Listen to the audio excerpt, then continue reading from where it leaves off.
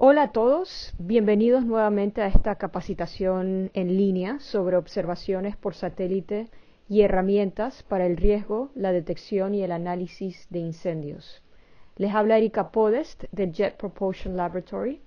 En esta sesión nos enfocaremos en los impactos después de los incendios, específicamente sobre los recursos hídricos y desastres.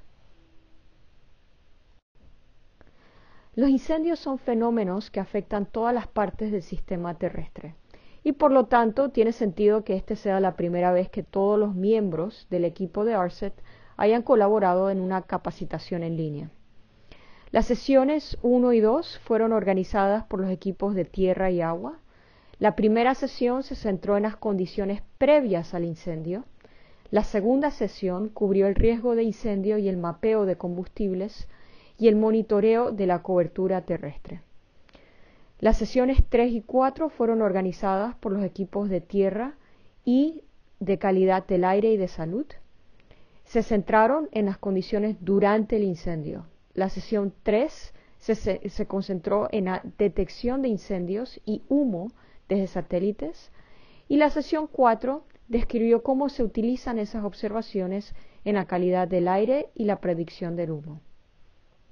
La sesión de hoy, la número 5, y la del jueves se centrarán en las condiciones posteriores al incendio y han sido organizadas por los equipos de desastres, tierra y agua. La sesión de hoy cubrirá los impactos de los incendios en humedad del suelo, la escorrentía y los deslizamientos de tierra. La sesión 6 del jueves describirá el área quemada y el mapeo de la severidad de los incendios y el rebrote de vegetación posterior al incendio. Esta presentación ha sido armada por Amita Mehta, Sean McCartney y nuestro orador invitado Ellie Orland del Instituto Goddard de la NASA. El material ha sido traducido al español y yo lo estaré presentando. Hoy daré un breve repaso de cómo los incendios pueden afectar los recursos hídricos y las catástrofes. A continuación presentaré un análisis posterior a los incendios recientes de California y luego los incendios de Portugal. Por último, presentaré un modelo de flujo de escombros y deslizamientos de tierra después de los incendios basado en datos de satélite. Los incendios forman parte del entorno natural de los bosques, los pastizales y la tundra y tienen un impacto duradero en las vidas humanas y en las infraestructuras. Algunos de los principales impactos post-incendio en el medio ambiente son la liberación de dióxido de carbono y partículas de hollín en atmósfera y esto influye en el clima a distintas escalas de tiempo. También cambios en la química del suelo y reducción de su fertilidad, la destrucción de la vegetación, lo que conlleva un aumento de la escorrentía y la erosión del suelo, y, como pueden imaginar, la, incrementa la probabilidad de que se produzcan deslizamientos de tierra o de lodo. También influyen en el ciclo y el flujo de nutrientes y en la destrucción de los ecosistemas y de la vida silvestre. Los incendios forestales tienen efectos a corto y a largo plazo sobre los recursos hídricos. A corto plazo, la erosión y la escorrentía tras un incendio transportan sedimentos, residuos y sustancias químicas a los arroyos, lagos y embalses, afectando la calidad del agua potable. A largo plazo, los incendios pueden alterar las características de las cuencas hidrográficas debido a los cambios en la química del suelo, la infiltración del agua y la escorrentía, lo que acaba entonces alterando la intensidad y los patrones del flujo torrencial. En Estados Unidos, aproximadamente el 80% de los recursos de agua dulce se originan en terrenos boscosos. Más de 3.400 comunidades dependen de sistemas públicos de agua potable situadas en cuencas hidrográficas de terrenos eh, boscosos. Entonces, los incendios forestales tienen un impacto sustancial en la cantidad y la calidad de la escorrentía utilizada como fuente de agua y también afectan a la pesca y a los hábitats acuáticos. Esta imagen muestra un ejemplo del incendio del Station Fire, lo que llamamos el Station Fire, ocurrió en California en el 2009. Muchas truchas tipo arcoíris murieron como resultado de los cambios en la calidad del agua después del incendio. El impacto de los incendios en la calidad del agua es obviamente una preocupación para las comunidades de todo el mundo donde el agua se extrae de las cuencas boscosas. Este informe de Yale indica que después de los incendios en Australia, la calidad del agua era tan mala que la ciudad de Canberra se vio obligada a construir una nueva planta de tratamiento de agua. Ya que es probable que el cambio climático haga que los incendios sean más frecuentes e intensos, aumentarán entonces las amenazas a los suministros de agua y a los sistemas acuáticos. Esta figura muestra las cataratas de Cameron en Alberta, en Canadá, y están ennegrecidas por el hollín y los restos carbonizados que fluyen un año después de un incendio en esta zona.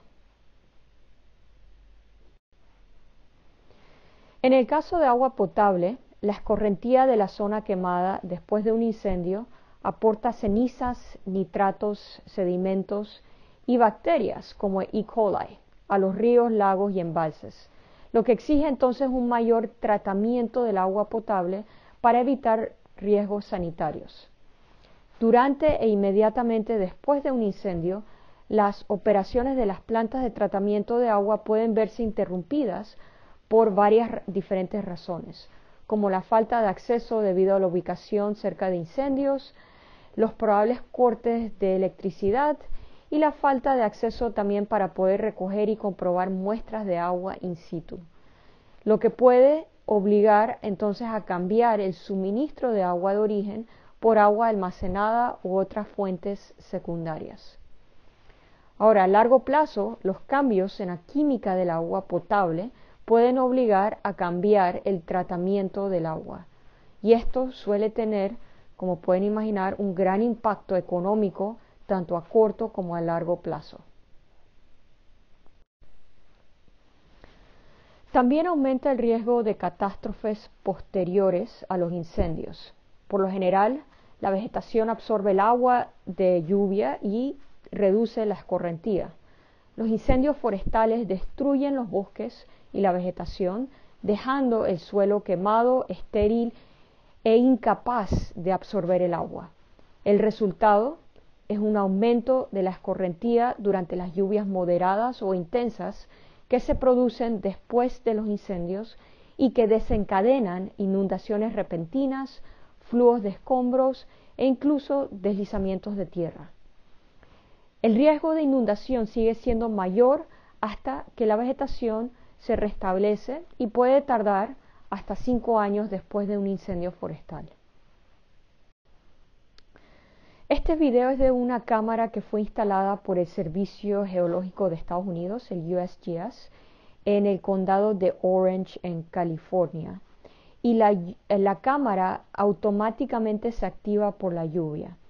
Entonces muestra un ejemplo de una inundación y flujo de escombros después del incendio de Silverado, que quemó un área de aproximadamente 6.5 kilómetros cuadrados en el 2014.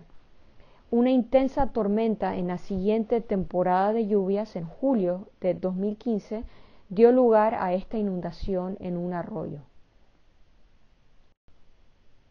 A continuación, veremos un estudio de caso en California en el que se monitorean las precipitaciones y escorrentías posteriores a los incendios que pueden repercutir posteriormente en la calidad del agua de ríos y lagos.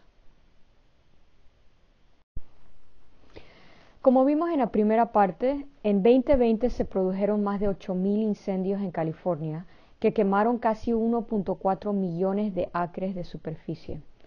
Pueden ver aquí los principales centros de incendio en este mapa y pueden ver las áreas quemadas debido al, al complejo, el grupo de incendios del norte en el río Feather, el incendio de Creek en el río San Joaquín y el, grupo de incendios en el área de Sequoia, en las cuencas del río Kern. Nos centraremos en la región del complejo norte para analizar las condiciones posteriores al incendio. El incendio del norte o del oso, el Bear Fire, comenzó por un rayo el 17 de agosto y se convirtió en una tormenta de fuego el 8 de septiembre. Los vientos intensos comenzaron con la tormenta de fuego y ese fuego se fusionó con otros fuegos provocados por un rayo, cubriendo toda la zona roja que ven aquí. La parte occidental del North Complex Fire quemó más de 70.000 acres antes del 11 de septiembre. El incendio dañó gravemente a las comunidades que rodean el lago Oroville y la cuenca del río Feather. El incendio del oso, como se ve en esta imagen cerca del lago Oroville el 9 de septiembre, destruyó vastas franjas de bosques, aumentando las posibilidades de que las cenizas y los escombros fluyan hacia el lago Oroville a través del río Feather. El lago Oroville suministra agua potable a 25 millones de personas en el sur de California, por lo que las repercusiones podrían ser de gran alcance. Además, el río Feather es un criadero de salmón chinook que regresa río arriba para desovar. Por lo tanto, el control de la calidad del agua después del incendio es muy importante. Para comprender el estado de la cuenca tras el incendio, examinaremos el NDVI de Modis, la precipitación de iMerge y la humedad del suelo y la escorrentía de Gildas en la región del lago Oroville y el río Feather. Hemos utilizado Giovanni para obtener estos datos para análisis. Hemos obtenido datos de elevación de SRTM para esta región utilizando a Pierce. Recordamos que estos datos y herramientas fueron presentados y utilizados en la primera sesión.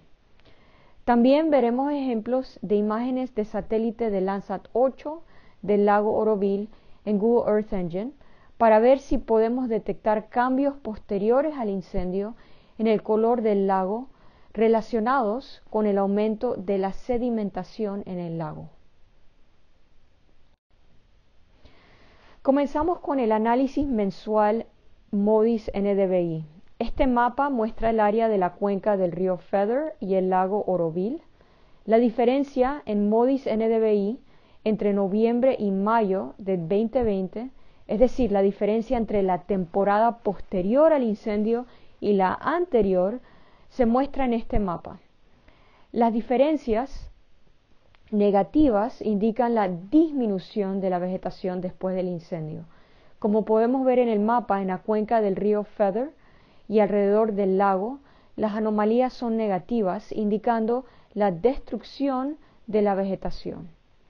El DM de SRTM de esta región muestra que el lago Oroville está en la ladera de estas montañas hacia el este, lo que hace más susceptible a una mayor probabilidad de inundaciones y deslizamientos de tierra. El NDVI promediado sobre el área del mapa muestra en, esta, en la serie temporal desde los meses anteriores al incendio hasta los posteriores al mismo en el 2020. El incendio comenzó a mediados de agosto y alcanzó su punto máximo el 8 de septiembre. El NDVI muestra claramente un descenso sustancial después del incendio, lo que refleja la destrucción de la vegetación en esta zona. A continuación, controlamos los componentes hidrológicos durante el mismo periodo que el NDVI. Las series temporales muestran la precipitación mensual de iMerge, la humedad del suelo y la escorrentía de geodas antes, durante y después del incendio eh, de Bear o del oso. Como podemos ver, justo antes y durante el periodo del incendio, las precipitaciones, la humedad del suelo y la escorrentía son mínimas. Las precipitaciones aumentaron al iniciarse la temporada de otoño y dieron lugar a un aumento de la humedad del suelo y de la escorrentía, como es esperado. La disminución general de la vegetación y el aumento de las precipitaciones, la humedad del suelo y la escorrentía después de, septiembre aumentan potencialmente el riesgo de erosión, sedimento y flujo de escombros en los afluentes del río Feather y el lago Oroville después del incendio. Entonces, el impacto, por supuesto, dependerá de la intensidad de las lluvias y de la cantidad de escorrentía hacia los arroyos y el lago a través de la zona quemada. La probabilidad de inundaciones y deslizamientos de tierra también puede aumentar si se producen fuertes lluvias en la región en la temporada posterior al incendio. Un mayor seguimiento de las precipitaciones y la escorrentía diaria puede ayudar a anticipar el riesgo posterior de baja calidad del agua, inundaciones y desprendimientos a corto plazo. Entonces aquí examinamos las precipitaciones de iMerge y la escorrentía de Gildas después de los incendios de Bear. Estas series temporales de datos de iMerge y Gildas muestran la ocurrencia de precipitaciones y escorrentías diarias en la zona. El monitoreo de las magnitudes de estas cantidades puede informar sobre cuándo recoger muestras de agua para analizar su calidad y planificar su tratamiento. Ahora, del mismo modo, las precipitaciones y escorrentías más intensas de lo normal podrían ayudar a evaluar el riesgo de inundación. De nuevo, es necesario un análisis espacial y temporal más cuantitativo y una evaluación de los umbrales de precipitación y escurrimiento para o mejorar la predicción y la preparación contra las inundaciones y la baja calidad del agua. Más adelante demostraré cómo algunos de estos datos pueden utilizarse de forma más cuantitativa en la modelización de los flujos de escombros. Además de monitorear los componentes hidrológicos, como vimos en la cuenca del río Feather y del lago Oroville, podemos monitorear las imágenes ópticas de los arroyos y lagos para ver si hay algún aumento en los sedimentos en el agua. Aquí mostramos un ejemplo del uso de Google Earth Engine para ver las imágenes del Landsat 8. Observamos la reflectancia de la superficie del Landsat 8 eh, OLI, Operational Land Imager, con una resolución de 30 metros. Entonces aquí se trata de una imagen en color verdadero del 16 de enero del 2021, después de observar varios eventos de lluvia post-incendio en noviembre, diciembre de 2020. Al acercarnos podemos ver que la imagen Landsat del lago Oroville muestra la zona que está en, el círculo rojo, eh, muestra que esta zona tiene una reflectancia relativamente alta, lo que indica la presencia de sedimentos en esta parte del lago. Es necesario procesar las imágenes, preferiblemente junto con datos in situ, para obtener parámetros de calidad del agua como los sedimentos en suspensión y la turbidez. Este procedimiento el del procesamiento cuantitativo de imágenes lo pueden, em, pueden obtener más información por medio del enlace eh, que encuentran en esta diapositiva en la parte izquierda.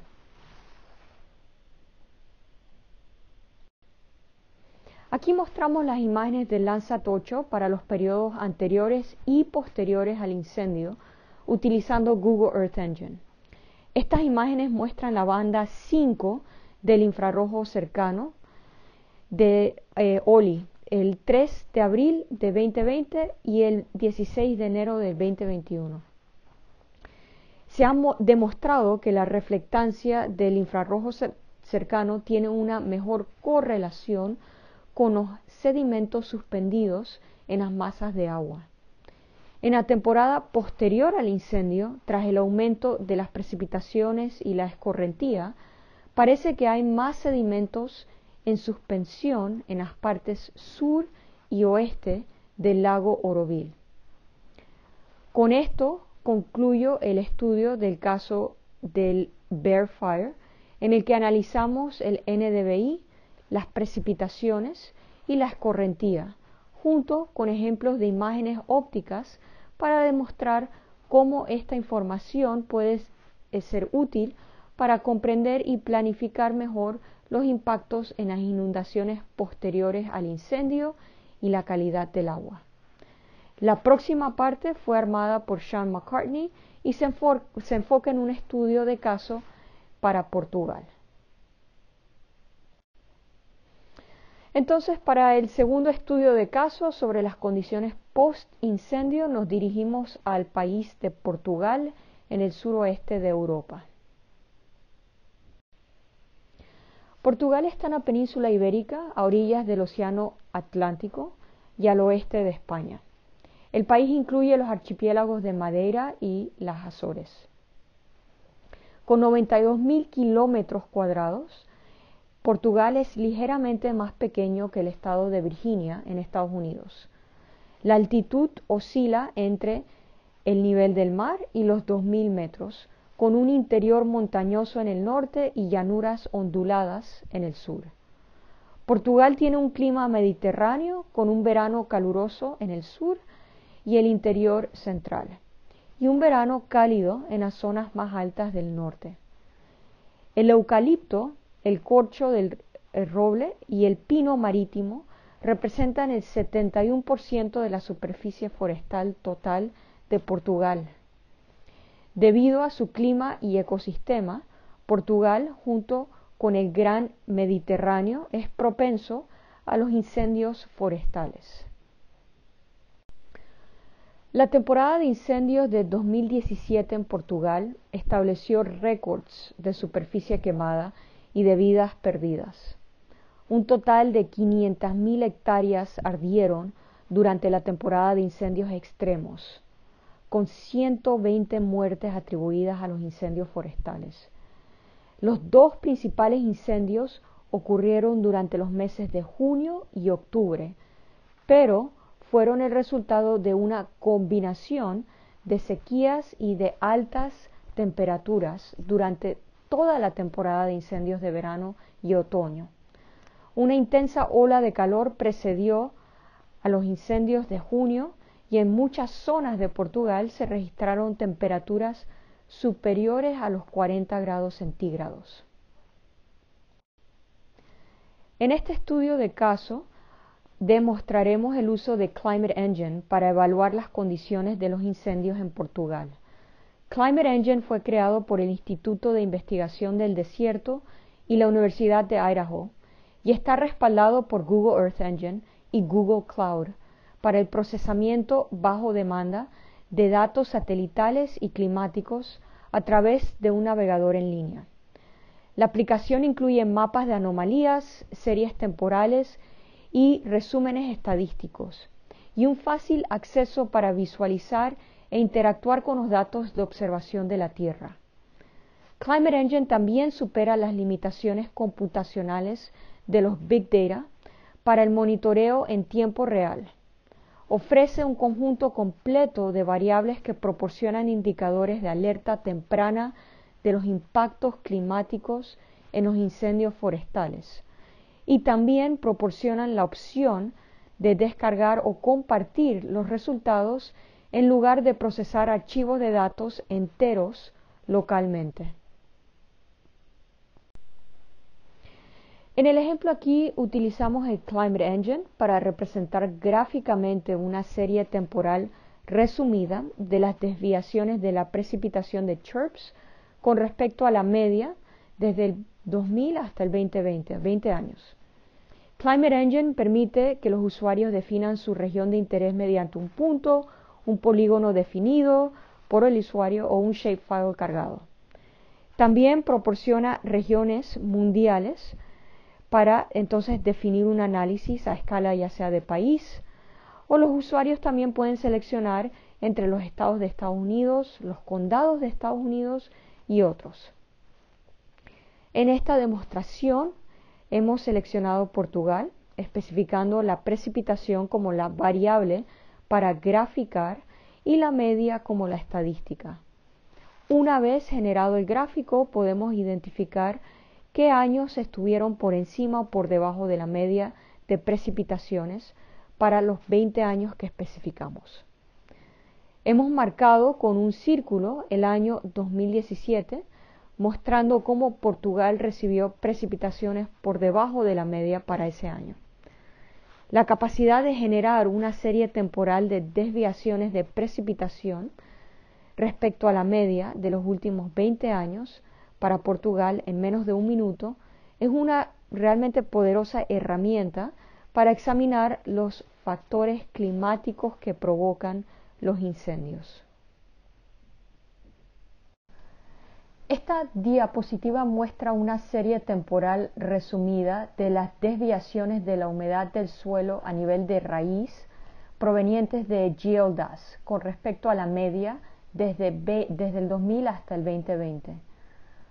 Eh, GeoDAS ingiere productos de datos de observación por satélite y terrestres utilizando técnicas avanzadas de modelización de la superficie terrestre y de asimilación de datos, con el fin de generar eh, campos óptimos de estados y flujos de la superficie terrestre. La sequedad del suelo está vinculada a un mayor número de incendios, pero los incendios también pueden causar sequedad en el suelo, lo que puede afectar la disponibilidad de agua en el suelo para la agricultura y así afectando negativamente la salud y la producción de los cultivos. La humedad del suelo puede ayudar a los gobiernos locales y a las agencias de respuesta a anticiparse y prepararse mejor para una temporada de incendios activa y ayudar a seguir el impacto potencial del fuego en la disponibilidad de la humedad del suelo y la producción de cultivos. Para la región de interés, hemos eh, especificado Portugal para el análisis y hemos circulado el año 2017 para destacar el déficit de humedad del suelo a nivel de raíz en este año, que fue un año devastador de incendios forestales en Portugal. Cambiando de la pestaña Make Graph a, a Make Map en Climate Engine, podemos utilizar los mismos datos de precipitación de CHIRPS para mapear el índice de precipitación estandarizado o SPI para el sur de Europa. El SPI es un índice ampliamente utilizado para caracterizar la sequía meteorológica en una serie de escalas de tiempo. Los valores del SPI pueden interpretarse como el número de desviaciones estándar en la que la anomalía observada se desvía de la media a largo plazo.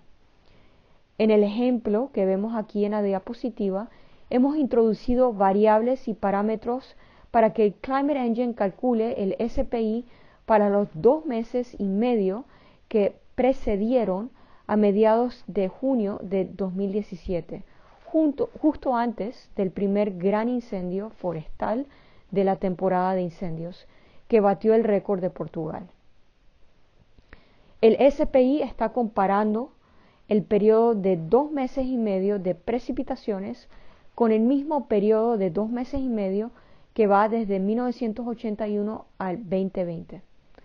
Podemos ver en el mapa que la mayor parte del sur de Europa tiene un déficit de precipitaciones, especialmente en las regiones de la península ibérica, la mayor parte de Italia y las islas de Cerdeña y Córcega en el Mediterráneo. La temperatura de la superficie terrestre es uno de los productos derivados del sensor MODIS, que está a bordo de los satélites Aqua y Terra de la NASA. En esta diapositiva hemos utilizado Climate Engine para calcular la diferencia de temperatura de la superficie terrestre con respecto a la media, hemos especificado un mes, del 15 de junio al 15 de julio del 2017 como periodo de estudio, comparando las temperaturas de la superficie terrestre con el mismo periodo de un mes entre el 2000 y 2021. El resultado muestra las áreas de incendios activos, las cicatrices de las quemaduras y las altas temperaturas de la superficie terrestre durante e inmediatamente después del incendio. Pueden repetir los mismos pasos utilizando diferentes meses o años para evaluar los impactos después del incendio en las temperaturas de la superficie terrestre para su área de estudio. Uno de los métodos para evaluar los daños en la vegetación después de un incendio es el índice de vegetación de diferencia normalizada, el NDVI. NDVI está directamente relacionado con la capacidad fotosintética de la vegetación o más sencillamente con el verdor de la vegetación observadas desde plataformas aéreas o espaciales.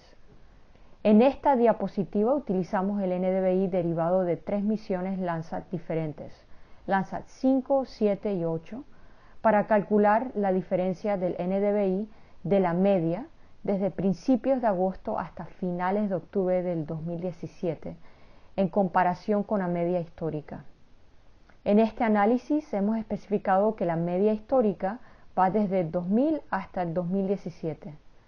En el mapa vemos las anomalías del NDVI mostradas en rojo, correspondientes a la vegetación muerta o dañada dentro de Portugal. El polígono de la izquierda destaca dos zonas boscosas desconectadas a lo largo de la costa atlántica y que están muy dañadas por los incendios forestales del 2017. El polígono de la derecha muestra grandes parches de áreas quemadas después del incendio en el municipio de Pedrogao Grande. En esta diapositiva mostramos cómo utilizar Climate Engine para visualizar el índice de área quemada, o BAI en inglés, Burned Area Index, derivada del instrumento MODIS en el satélite Terra de la NASA. Hemos utilizado Climate Engine para calcular la diferencia del índice de área quemada con respecto a la media, mostrando las anomalías en el área quemada para el periodo de agosto a diciembre del 2017 en comparación con los mismos cinco meses durante el periodo de 20 años del 2000 al, 2021. Entonces, la capacidad de superar las limitaciones computacionales del Big Data y producir mapas de anomalías en minutos es una de las ventajas de Climate Engine. En el mapa de la derecha podemos ver zonas quemadas en rojo oscuro eh, identificadas dentro del polígono negro. Se trata de grandes franjas del centro de Portugal muy afectadas por los incendios forestales del 2017. En esta diapositiva mostramos cómo las imágenes de satélite siguen detectando valores bajos de NDVI un año después de los devastadores incendios forestales del 2017. Utilizando Landsat 7 y 8 podemos ejecutar rápidamente un análisis para determinar la diferencia de NDVI de la media de junio a julio del 2018 en comparación con los valores medios de NDVI para esta región de 1984 al 2020. Todavía podemos ver el impacto que tuvieron los devastadores incendios forestales en el centro de Portugal y este análisis se puede ejecutar en los años siguientes para determinar la tasa de rebrote y recuperación de la cobertura forestal. Para evaluar el riesgo de derrumbes provocados por las lluvias, cambiaremos la pestaña del Climate Engine de nuevo a la opción Hacer gráfico o Make Graph y ejecutaremos un análisis de series temporales de los datos de precipitación de CHIRPS PENTAR. En lugar de observar las anomalías, para esta salida graficaremos las estadísticas de los valores totales de precipitación desde mediados de junio del 2017 hasta mediados de junio del 2018 para identificar cuándo se produjeron eventos de lluvia intensa que potencialmente podrían desencadenar eventos de pérdida de masa. Esto es importante en muchas partes del mundo que son propensas a desastres como los deslizamientos de tierra provocados por las lluvias. El gráfico de la derecha muestra los eventos de lluvia más intensos a principios de marzo y abril de 2018 que podrían desencadenar flujos de escombros o deslizamientos de tierra. Estos dos eventos son capturados por los círculos negros hacia la parte superior derecha del gráfico. Como comenté anteriormente, la escorrentía de las zonas quemadas puede llevar cenizas y sedimentos a los ríos y embalses, lo que afecta a la calidad del agua. El, monitoreo diario de las precipitaciones y la escorrentía ayuda a predecir el riesgo subsiguiente de mala calidad del agua, inundaciones y deslizamientos de tierra. Una de las formas de analizar esto en el Climate Engine es utilizando los datos del sistema de asimilación de datos terrestres de la red de sistemas de alerta temprana contra la hambruna o conocido en inglés como FLDAS. Las anomalías de la escorrentía superficial del FLDAS pueden utilizarse para caracterizar las tormentas que podrían desencadenar flujos de escombros o deslizamientos de tierra.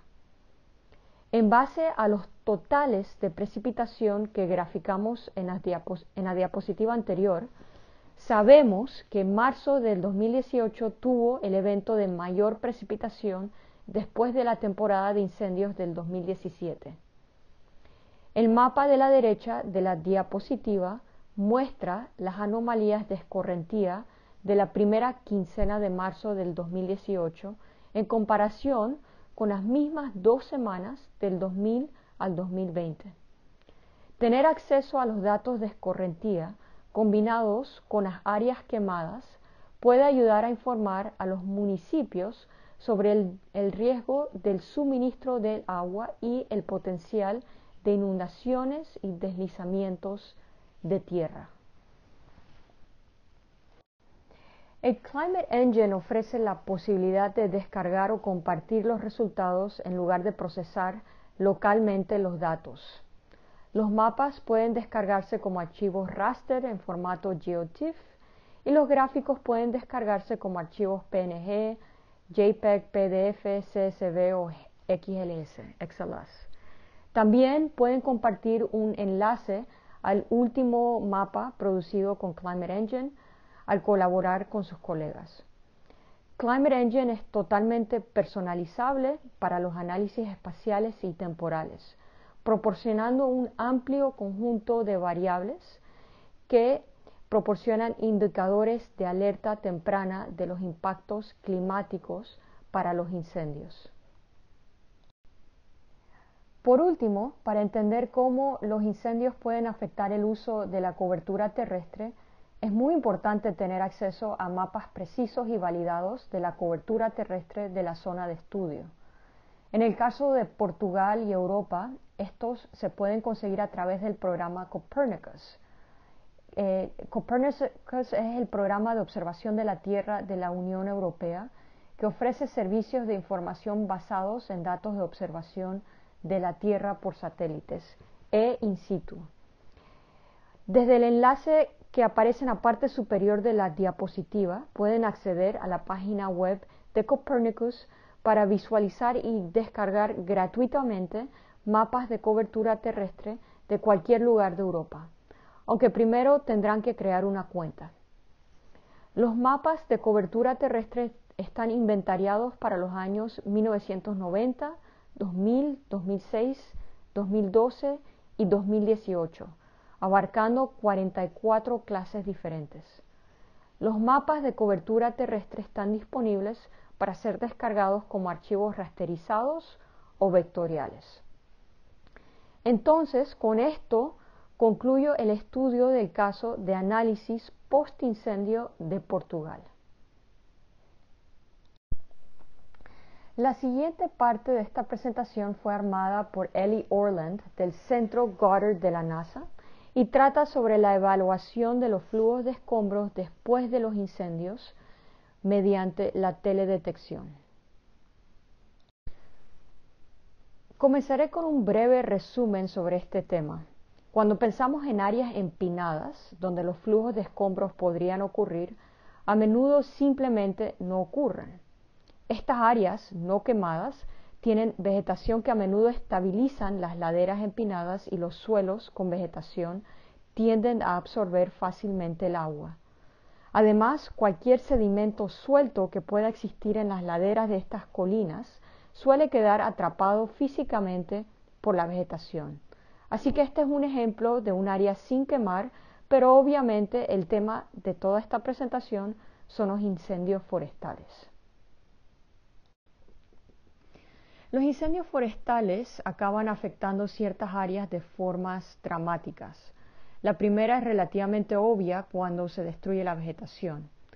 Ocurren dos cosas. A largo plazo eh, se desaparecen las raíces que mantienen las laderas empinadas en su lugar y esto ocurre en escala de tiempo anual o de varios años. Pero de forma más inmediata lo que ocurre es que cuando se elimina la vegetación, también se elimina esencialmente esa barrera. Así que todo el sedimento que estaba atrapado detrás de las plantas ahora es mucho más fácil de movilizar y está más expuesto a la lluvia que podría golpearlo y movilizarlo. En segundo lugar, y esto es importante, a menudo antes de un incendio el suelo puede estar lleno de hojarasca y puede ser simplemente hojas caídas, ramas, arbustos. Cuando se queman, estos materiales orgánicos a menudo eh, eh, contienen una sustancia cerosa en ellos y esta sustancia se vaporiza en un gas y termina bajo tierra. Esto tiene grandes efectos en la capacidad del suelo para absorber y mover el agua a través de la tierra. Pueden pensar en esto como una capa hidrofóbica. Es casi como si pusieran una capa de plástico solo unos centímetros por debajo del suelo. Es muy importante porque durante las lluvias intensas toda el agua que habría sido fácilmente absorbida por el suelo ya no puede ser absorbida y con frecuencia se convierte en escorrentía. Así que cuando se combinan estos factores es más fácil movilizar los sedimentos por las fuertes lluvias y la escorrentía extensa. Ahora comencemos a pensar en estos flujos de escombros post-incendio. Como mencioné anteriormente, habrán escombros mucho más sueltos, los cuales son más fáciles de mover. También hay mucha más escorrentía y en las laderas empinadas, donde las condiciones eh, pueden ser ideales para estos flujos de escombros turbulentos y llenos de agua. Curiosamente, algunas personas en el Servicio Geológico de Estados Unidos han mostrado que incluso una lluvia regular, normal, em, producen o que, que, se producen cada año o cada dos años pueden generar estos flujos de escombros. Así que no estamos hablando de eventos de lluvia de una vez cada 50 años o eventos de lluvia una vez cada siglo. Este es el tipo de lluvia que se ve cada año o cada dos años. Así que después de un incendio forestal, las posibilidades de experimentar este tipo de lluvia son relativamente altas, lo que hace que sea un peligro significativo. La foto que ven aquí es solo para ponerlo en perspectiva. Este es un flujo de escombros que se produjo después del incendio Station, Station Fire eh, en California. Y este eh, será discutido en un par de diapositivas más adelante. Pero aquí pueden ver cómo este flujo turbulento se llevó una casa entera. Desafortunadamente muchas personas, si están en la trayectoria, pueden morir en eventos así. Así que es muy crítico que entendamos cómo podríamos desarrollar un modelo de peligro. Y lo que es más importante es incluso desarrollarlo para cualquier parte del mundo a partir de la teledetección. Por supuesto, la gran pregunta es cómo podemos hacer esto con la teledetección.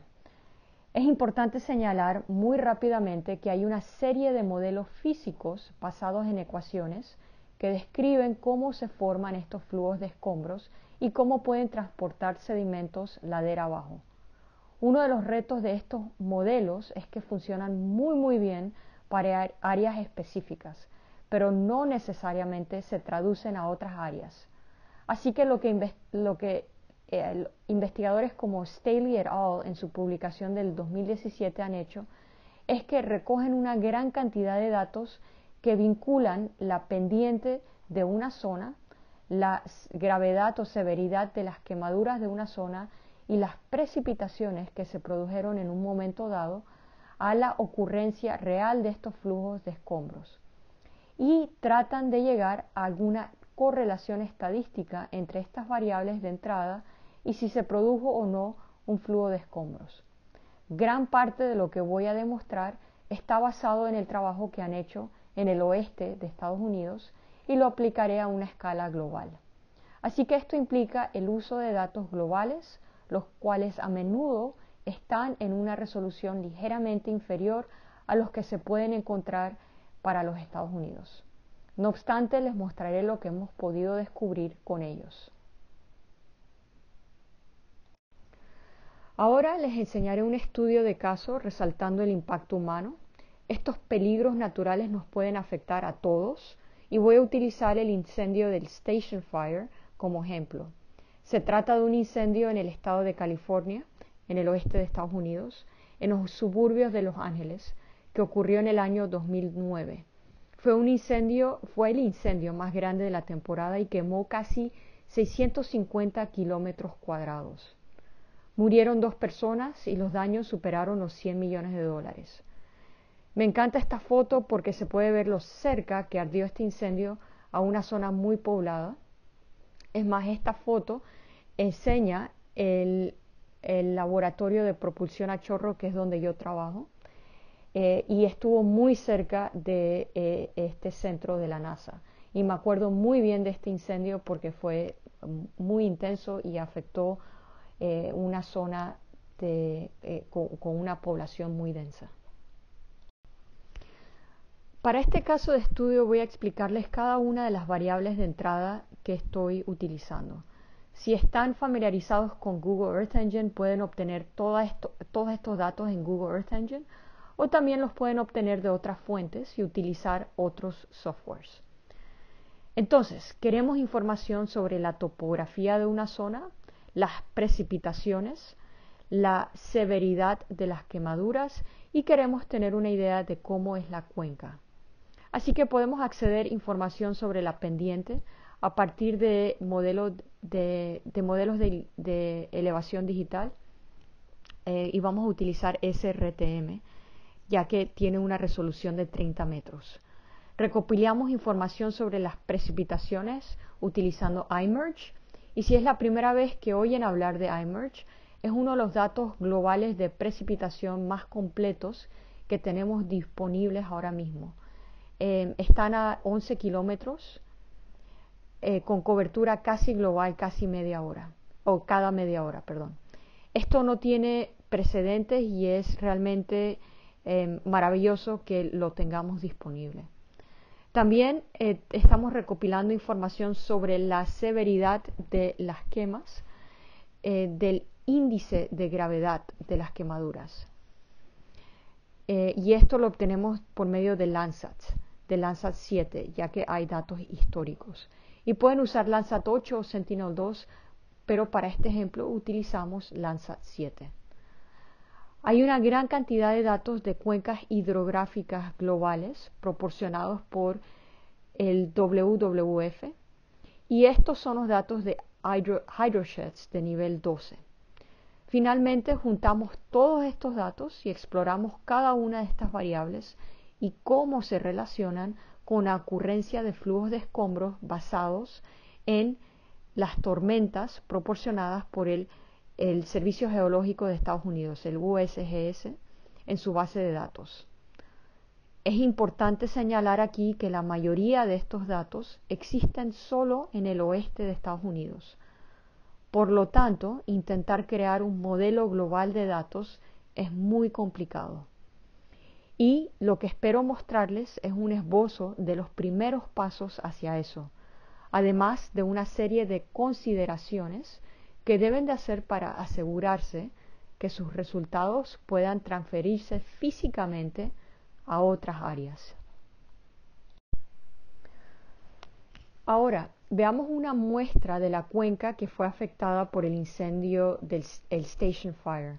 Como mencioné, ocurrió en los suburbios de Los Ángeles, la cual es una de las zonas metropolitanas más grandes de los Estados Unidos. Así que esta es una zona muy densamente poblada y pueden ver que hay una alta densidad urbana. La zona verde es donde el incendio del Station Fire ocurrió y pueden ver que varios flujos de escombros se registraron aquí en un periodo muy corto de tiempo.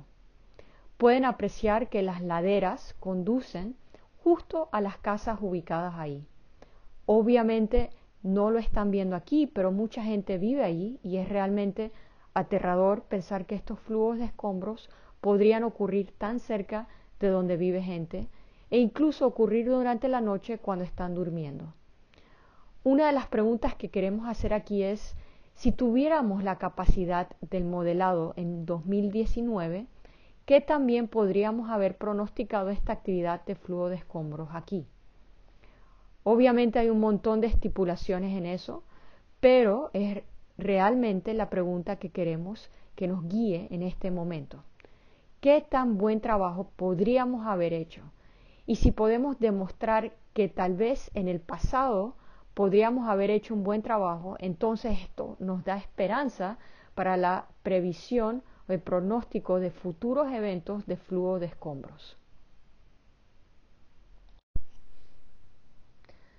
Para ello, quiero mostrarles los datos y notarán que esta imagen, la, la, imagen a la izquierda, no contiene una leyenda tradicional porque realmente quiero que presten atención a los extremos para que tengan una idea de cómo son estas laderas.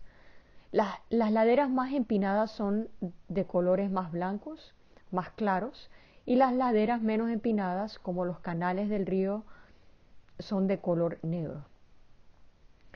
Y esto solo es para darles una idea general de que esta es un área muy empinada y pueden ver los contornos de los canales, pero casi que no es una sorpresa que hayan tantos flujos de escombros aquí, solo por lo empinado de la topografía. A la derecha vamos a ver el índice normalizado de área quemada. Entonces es una métrica que a menudo utilizamos y va un poco más allá del alcance de esta discusión, pero diré que es una aproximación razonable de la severidad de la quema en una zona. Quiero enfatizar de que nada sustituirá la capacidad de visitar un área presencialmente y evaluar la gravedad de las quemaduras en una zona.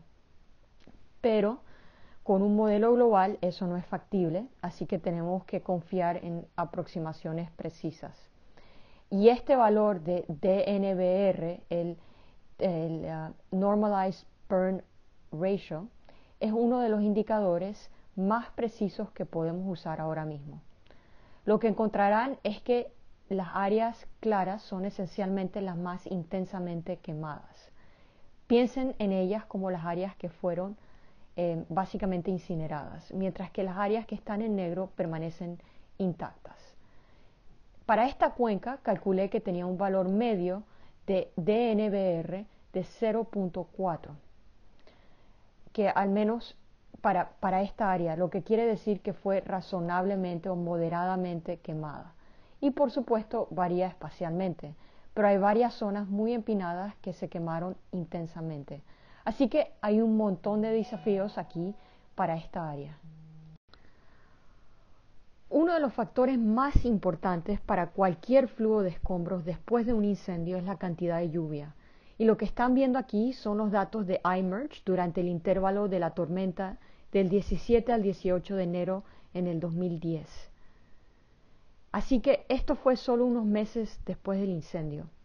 Ahora, vale la pena señalar que varias tormentas ocurrieron aquí y estamos viendo solo una de ellas que registró 41 milímetros de lluvia en 48 horas en esta cuenca. Ahora bien, la discusión sobre la precisión absoluta es un tema muy aparte. Lo importante es que en relación con todas las precipitaciones registradas por iMerge en los dos años anteriores a este evento, lo que ven aquí es que estos 41 milímetros en esta zona son los más altos de los últimos dos años. Así que consistentemente con lo que la literatura indica es que esto realmente fue suficiente para crear un flujo de escombros.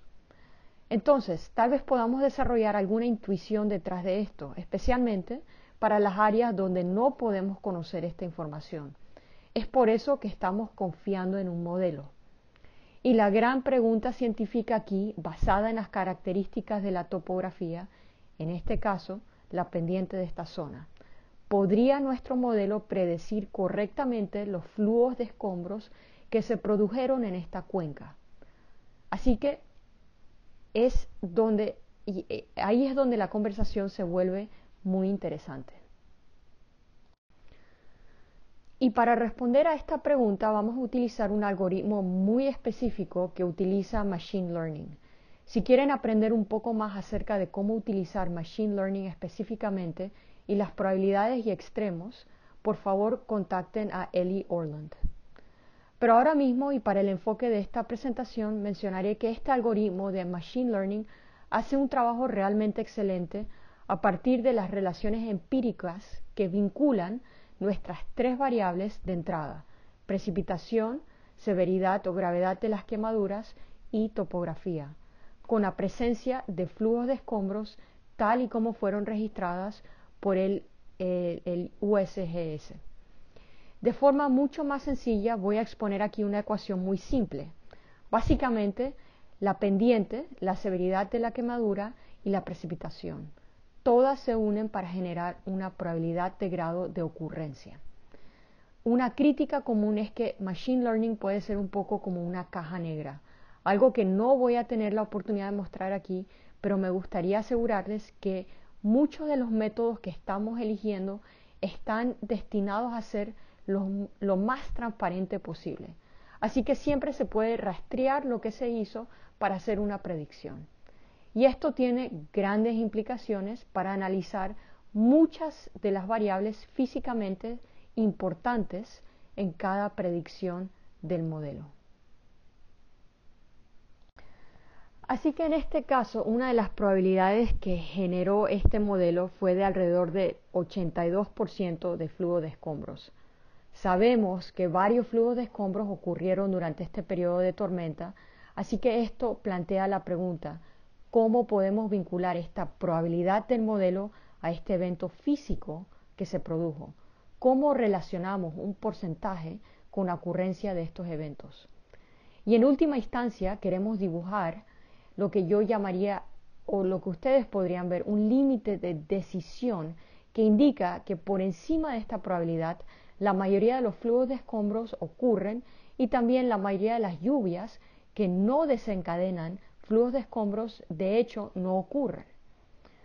Puedo decirlo de una forma un poco más sencilla. Queremos maximizar los verdaderos positivos y minimizar las falsas alarmas de un flujo de escombros para todas las otras veces que llueve. Y una de las formas que podemos hacer esto es a través de lo que llamamos una curva de características operativas del receptor o en inglés Receiver Operating Characteristic Curve o ROC. Hay muchas otras maneras de hacer esto, pero esta es una de las más directas y muy eficaz. Ahora, voy a explicarles esta figura porque realmente contiene una gran cantidad de información. El eje X inferior es independiente y es el umbral de probabilidad de salida creciente. La probabilidad que predice mi modelo ese porcentaje de probabilidad del flujo de escombros está aumentando de derecha a izquierda. Esencialmente el modelo se está volviendo más y más preciso en predecir la probabilidad de flujo de escombros a medida que nos movemos hacia la izquierda. Ahora, simultáneamente notarán como que a medida que la probabilidad del modelo cambia, la compensación entre la tasa de falsos positivos y la tasa de verdaderos positivos también cambia. Así que una manera de pensar en esto es que queremos establecer algún límite de decisión donde estamos maximizando nuestros verdaderos positivos y minimizando nuestros falsos positivos. Entonces, la gran pregunta es, ¿dónde trazamos esa línea? ¿En qué probabilidad diríamos que está bien? Que cualquier cosa por encima de cierto umbral será un flujo de escombros y cualquier cosa por debajo de esto, de ese umbral, será un, no evento. No hay una respuesta correcta, correcta para hacer esto. Si eres muy conservador y quieres identificar cuánto flujo de escombros como sea posible, sabiendo que podrías tener algunas falsas alarmas, podrías intentar dibujar un límite de decisión en, donde aparece la ventana superior, esa caja en la parte superior del gráfico. Así que en este caso, esto sería alrededor del 80%, tal vez un poco menos. Y entonces diríamos que cualquier cosa que el modelo indique por encima del 80% es un flujo de escombros. Y resulta que dentro de nuestros datos, de hecho, el 100% de nuestros eventos de flujo de escombros están asociados con las probabilidades del modelo por encima del 80%. Pero, y un gran pero, el otro 20% de los eventos de lluvia que no produjeron el flujo de escombros, este, eh, eh, este modelo también está indicando que es un flujo de escombros, lo que significa que ahora tenemos una tasa de falsos positivos del 20%. Si queremos minimizar el número de falsas alarmas, podríamos establecer un umbral básicamente alrededor del 100%. En este ejemplo es donde está la ventana inferior. Así que en este caso verán que con un umbral de salida del modelo de digamos 98 o 99%, el 50% de los eventos de lluvia que produjeron un flujo de escombros estaban en este umbral de probabilidad del modelo. Para todos los eventos que no produjeron un flujo de escombros, el modelo tuvo una probabilidad de salida por debajo de este umbral.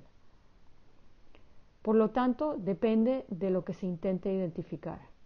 Si desean identificar todos los flujos de escombros o el mayor número posible de eventos de flujo de escombros, entonces pueden establecer el umbral en la caja superior o en la ventana superior y pueden saber que van a tener algunas falsas alarmas, pero es realmente importante para identificar cada uno de los eventos, especialmente si es que mm, se maneja la toma de decisiones y cualquier evento no identificado podría causar grandes estragos en eh, alguna comunidad.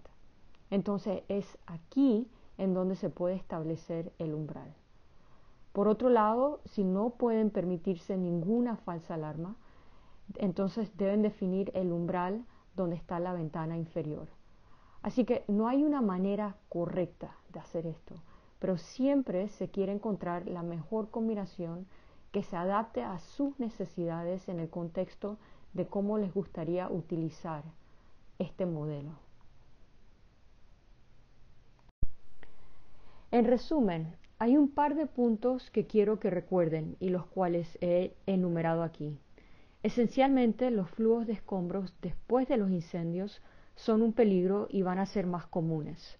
Afortunadamente, estamos trabajando con un modelo que es capaz de empezar a entender los peligros asociados con estas actividades solo utilizando datos de teledetección y utilizando muy pocas variables de entrada en comparación con otros modelos.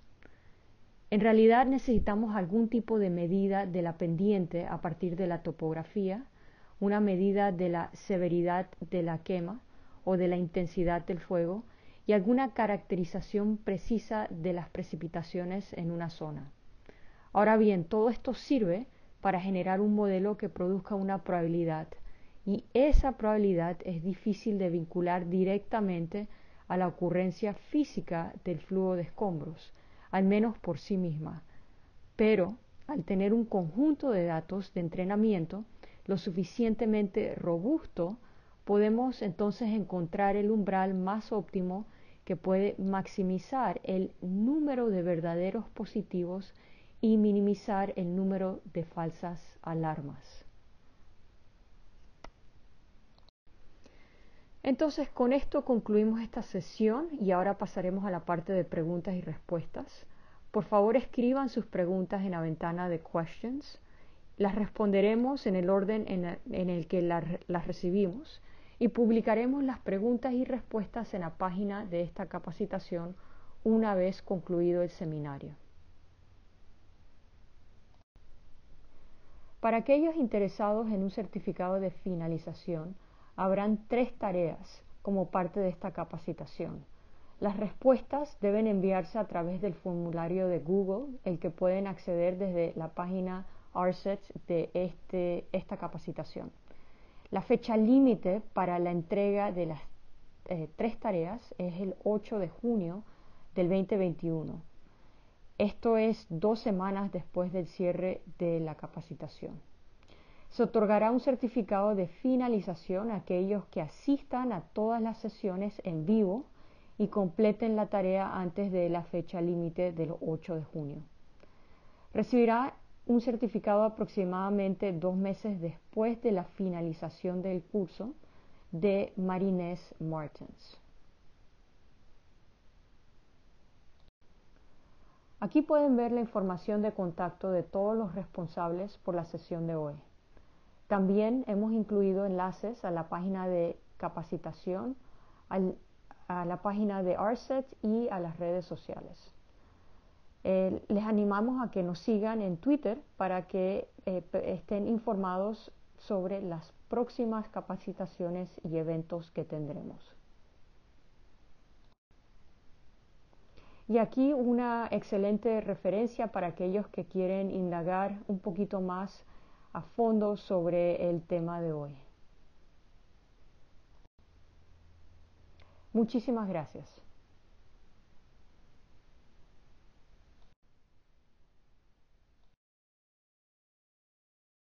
Excelente. Entonces, eh, comenzaremos la sesión de preguntas y respuestas. Hemos estado recopilando las preguntas que han estado escribiendo en la ventana de questions. Y aquí pueden ver las preguntas. Eh, las hemos estado recopilando en un documento. Eh, estaremos traduciendo simultáneamente, así que em, el, proceso será un poquito lento, así, sean pacientes. Eh, y todo estas, este documento lo pondremos en línea lo más pronto posible. Así que comenzamos con la primera pregunta. ¿Cómo midieron la escorrentía? ¿Con sensores remotos? Eh, referente a la página, de, a la diapositiva, supongo 18. So how was runoff measured? Uh, was it with remote sensors? And I guess uh, there's a reference to what was shown in slide 18. Así que en línea tenemos a los instructores, a Mita Meta, a Sean McCartney y a Ellie Orland. Eh, así que ellos estarán contestando las preguntas. So um, go ahead and please answer question number one.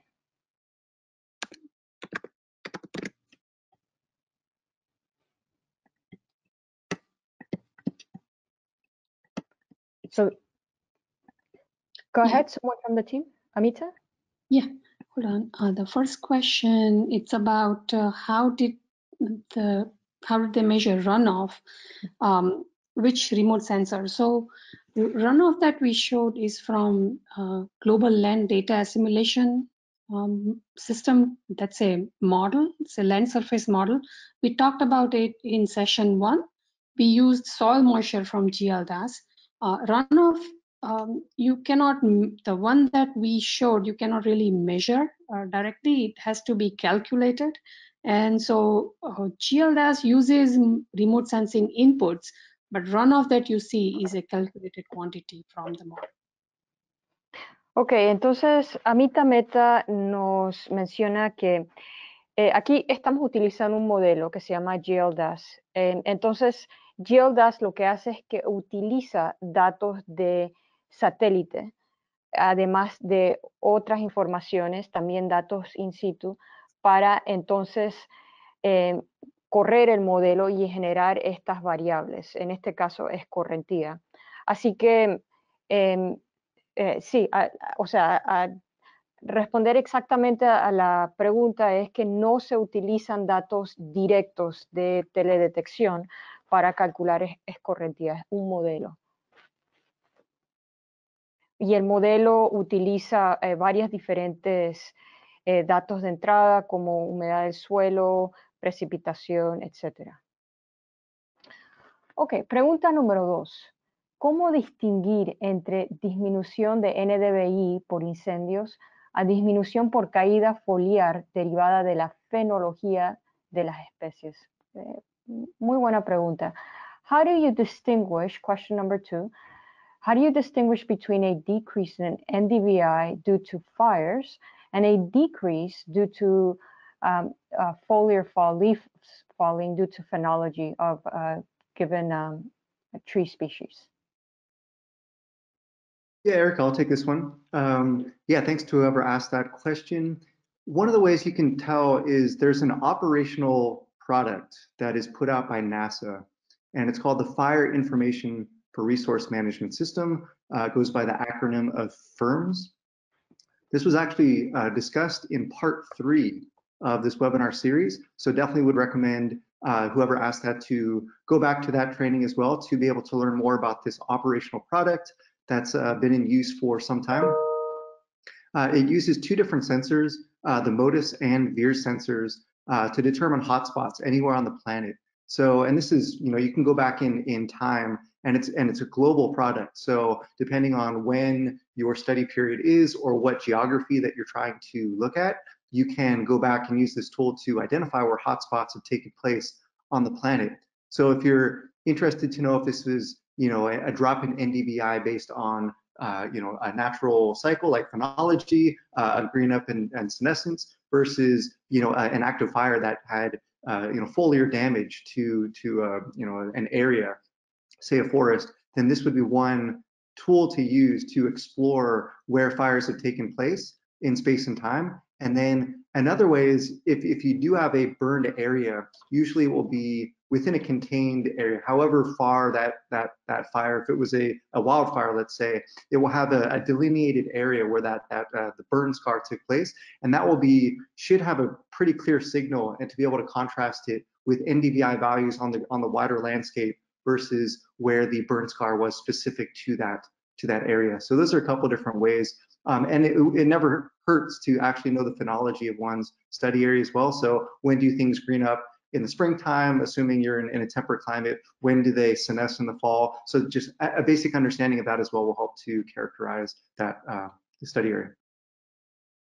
Thank you very much, Sean. Así que eh, nos acaba de contestar la pregunta Sean McCartney y nos indica que una forma de, de, de, determinar si una disminución de NDVI se debe a los incendios es o, o a fenología es es realmente consultando un producto que se llama Firms. Y este producto, eh, hablamos de este producto en la sesión 3, así que recomienda que em, eh, eh, visiten esa, esa sesión de nuevo, la repasen para más información sobre Firms. indica que Firms muestra espacial y temporalmente dónde y cuándo se produjeron los incendios en cualquier parte del planeta. Los productos de FIRM se derivan de los sensores MODIS y de VIIRS y pueden aprender más sobre, em, pues como mencioné, la herramienta en consultando la parte 3, la sesión 3, eh, eh, por medio también del enlace que hemos puesto aquí. Ahora, al saber los, hotspots, lo que le decimos en inglés los hotspots o los puntos calientes de incendios activos y pasados, junto con información sobre fenología en su área de estudio, entonces pueden determinar si una disminución en NDVI se debió a los ciclos anuales o a los incendios. Entonces también obviamente ayuda si ustedes tienen conocimientos sobre la fenología en su área de estudio. Otra forma de distinguir la actividad de incendios es em, hay una clara delimitación de los valores de NDVI altos y bajos en la zona quemada, mientras que los valores de NDVI serán más homogéneos en todo el paisaje. Así que esas son más o menos dos formas de, determinar la diferencia entre NDVI, disminución en NDVI debido a incendios o debido a fenología. Pregunta número tres. ¿Las afectaciones de los componentes hidrológicos tienen el mismo comportamiento después de un incendio que de una erupción volcánica? Do the effects, question number three, do the effects of the hydrological components have the same behavior after a fire as after a volcanic eruption?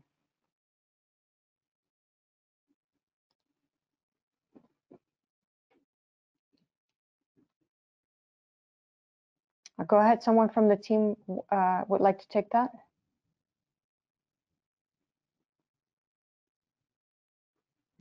Uh, I can chime in. Oh, sorry. If someone else is going to chime in, go for it. Uh, Go ahead, Eli. But yeah, Um, well, no, I was going to say I don't.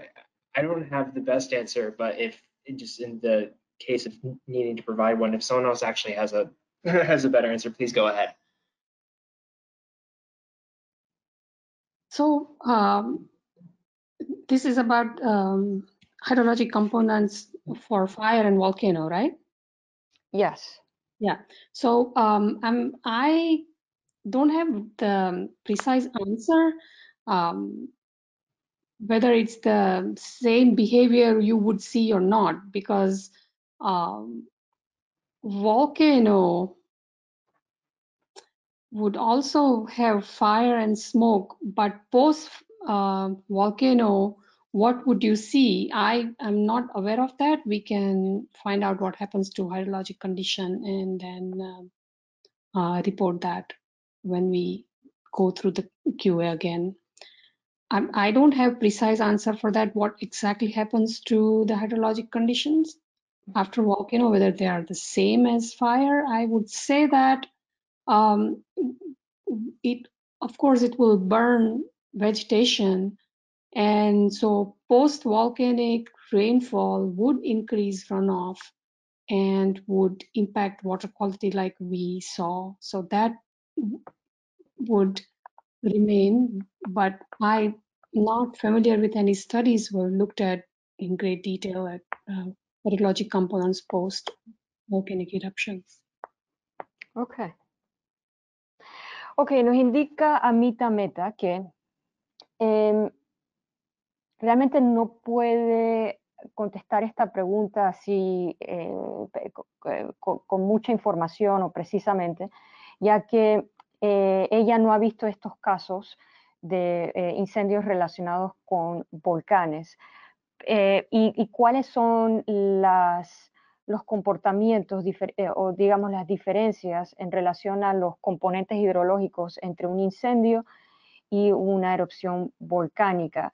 Ahora, en relación a em, post, eh, lo que ocurre eh, post una erupción volcánica, en muchos casos, pues en las erupciones volcánicas sí se ve incendio y sí se ven nubes de humo y, y- y post, eh, ya que se ha em, quemado un- o en- en- muchas, con muchas erupciones volcánicas se quema la vegetación. Después de, de estos eventos se ve un incremento en la escorrentía y en impactos en la calidad del agua. Pero eso es todo lo que ella em, pudo pues, contribuir a esta pregunta y lo que haremos es, eh, vamos a buscar algunas referencias, algunas publicaciones y las pondremos aquí a la hora de, eh, eh, de poner el documento oficial de las preguntas y respuestas en línea. Ok, seguimos a la pregunta número cuatro. ¿Podría brindar el paper, el, el ok, para citar el uso de la banda de Landsat para el cálculo de sedimentos en cuerpos de agua? Could you provide the paper or the, the citation on the use of the Landsat band for calculating sediments in water bodies? Ah, yes, this paper is cited here. Um, this is one example.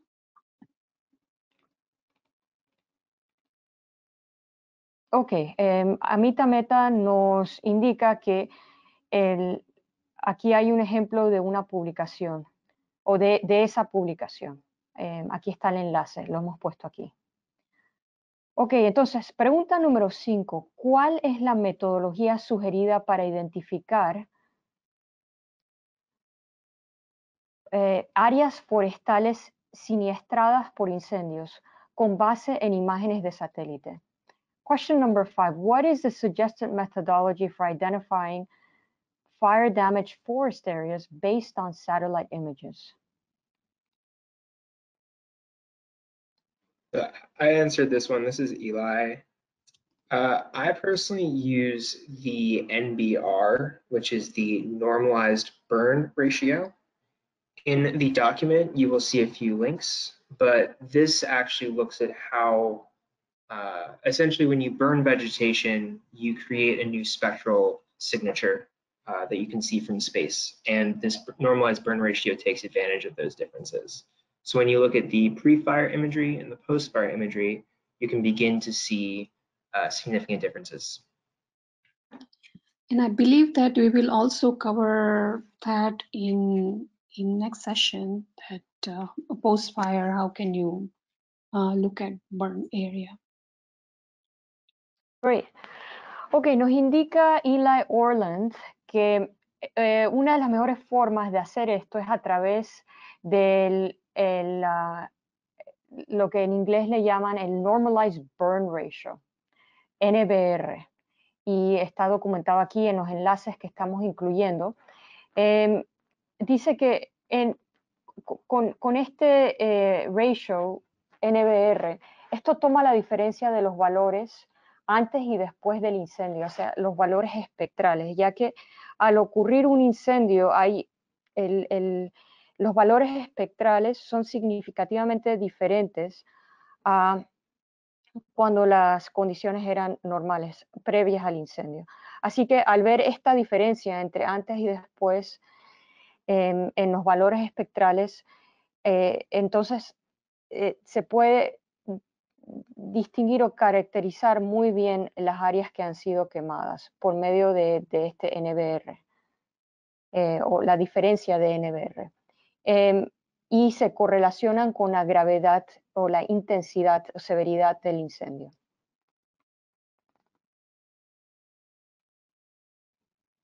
Ok, seguimos a la siguiente pregunta. Cuando organizaron un estudio de caso netamente práctico con el objetivo de entender haciendo un, un incendio.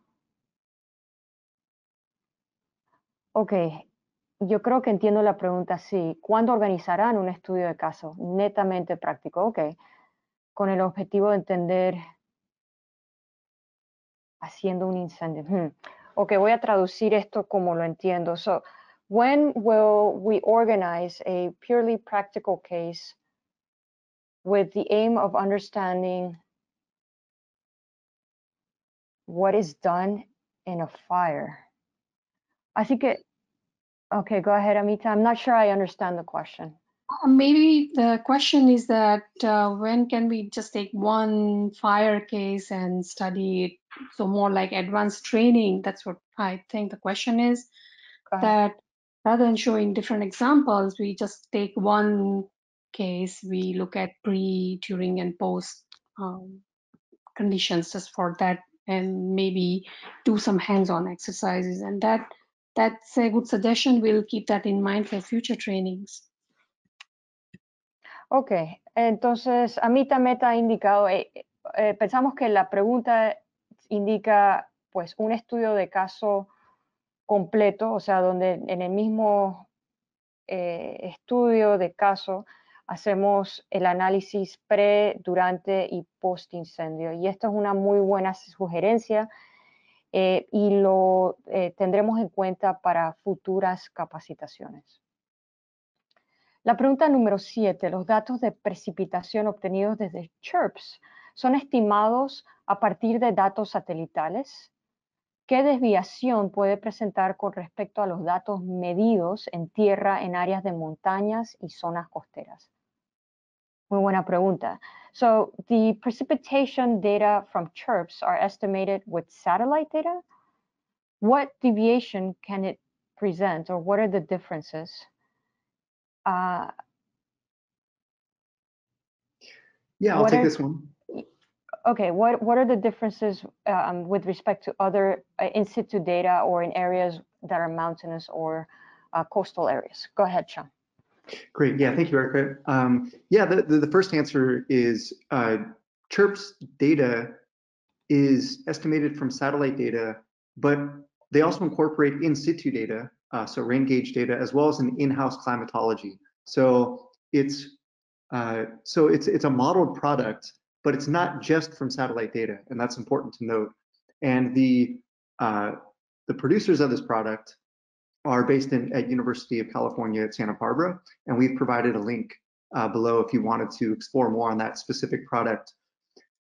There are definite challenges uh, in terms of uncertainties and and over mountainous areas, uh, as well as coastal areas. And I've I've gone through the literature for trim derived products of precipitation or estimates, as well as GPM uh, derived estimates of precipitation. But CHIRP specifically, I have not read in terms of the um, accuracy over mountainous and coastal. But what we can do is before we post this to the website, we will try to dig some of that, that research, the literature and add it to uh, to here so that we can, you know, hopefully answer that before next week. Sean, I can quickly speak to the mountain, uh, these precip estimates in mountainous regions. Uh, the unfortunate reality is that mountains are some of the hardest places to measure uh, rainfall from satellites. So oftentimes you're getting a very rough estimate, but it will not be as all encompassing as say from a coastal area where more or less the elevation is uh, planar and very flat. Great, thank you very much, both Sean and Eli. Entonces nos respondieron Sean McCartney y Eli Orland, nos indican, Sean indicó que los datos de CHIRP se estiman a partir de datos satelitales, eh, así como eh, datos in situ y de climatología. Eh, y estos datos provienen o los pueden encontrar en la página de la Universidad de California en Santa Bárbara. Pero algo que tienen que, es muy importante recordar es que estos datos son, son modelos, ¿no? Así que eh, utilizan diferentes eh, entradas y por medio de un modelo entonces determinan las estimaciones.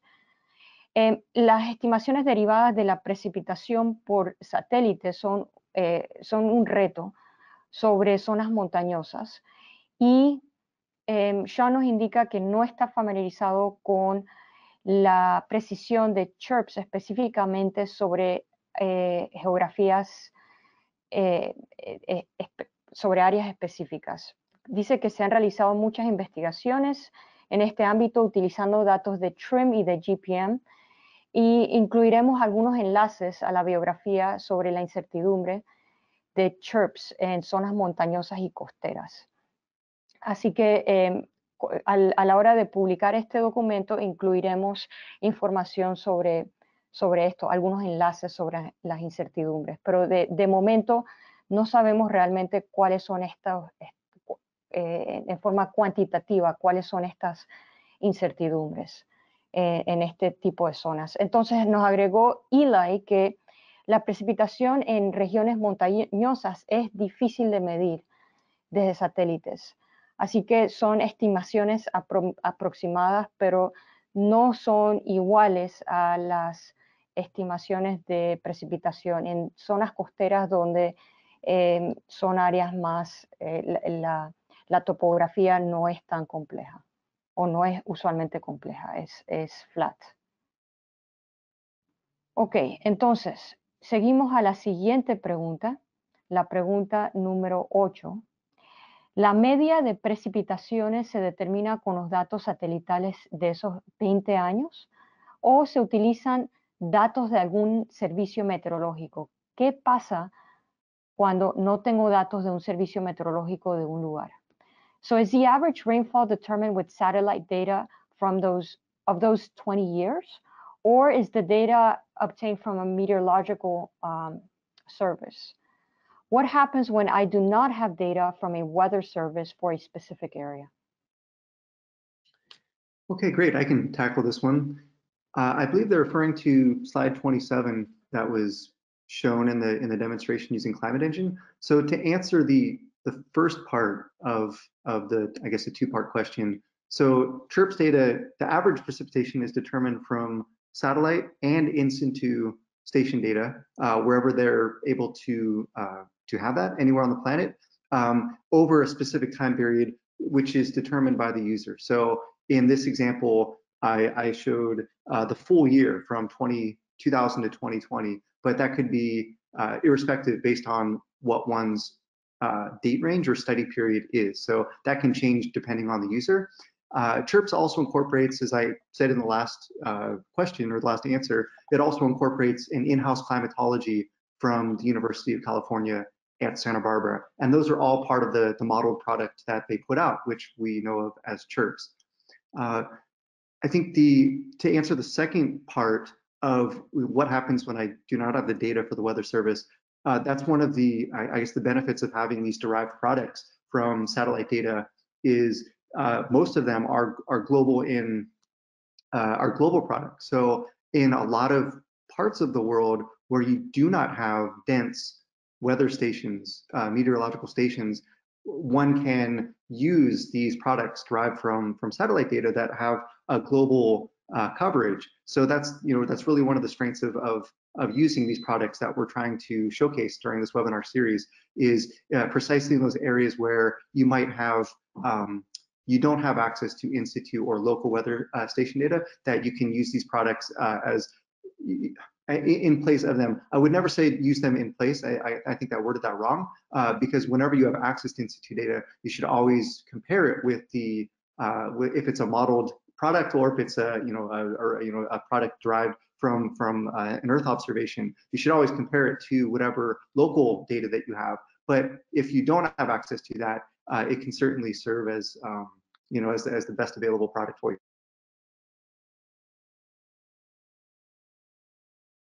Great, thank you very much. Entonces nos indica Sean McCartney que para los datos de CHIRPS, la precipitación media se determina a partir de datos de satélite y de estaciones in situ durante un periodo de tiempo determinado por el usuario.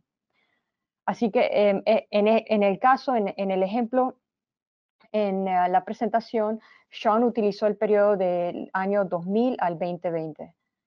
Uh, también incorpora la climatología eh, de, eh, de la Universidad de California en Santa Bárbara para elaborar el producto de precipitación. Y en el ejemplo, en la diapositiva número 27, se muestra la desviación de la media para el rango de estos años que Sean definió, 2000 al, 2020. Entonces, una de las ventajas en utilizar los datos de CHIRPS es en las regiones del planeta donde no hay datos in situ de estaciones meteorológicas locales. Eh, y como, obviamente, como cualquier producto derivado de satélite, siempre es bueno compararlo con datos validados in situ eh, cuando es posible, cuando hay datos in situ. Ok, entonces seguimos a la siguiente pregunta, la número 9. Para evaluar sólidos en suspensión en cuerpos de agua, ¿qué diferencias hay si utilizo la combinación de bandas eh, eh, de Landsat 8 452 respecto de la reflectancia near the near infrared, del infrarrojo cercano. So question number nine, to evaluate suspended solids in a body of water, what differences are there if I use the combination of uh, bands 452 from Landsat 8 with respect to the near infrared reflectance? So uh, 452 uh, is you're looking at a true color image and that does not always highlight uh, sediment color, but there are several band combinations are used to look at with NIR to look at suspended sediment or solids. And only way to find out um, how accurate which combination is is to have in situ data and first of all derive relationship between satellite deflectance or band, band deflectances and in situ data and then use those data to validate also some of that. So just looking at um, red, green, blue, true color image um, will not, it, it, will show you change in color, but N, NIR is more sensitive to suspended solids. That's what studies have shown. There are also different combinations used. Band ratios are used sometimes, but um, it, it's still, you know, people are doing different research with respect to their own water bodies with in situ data.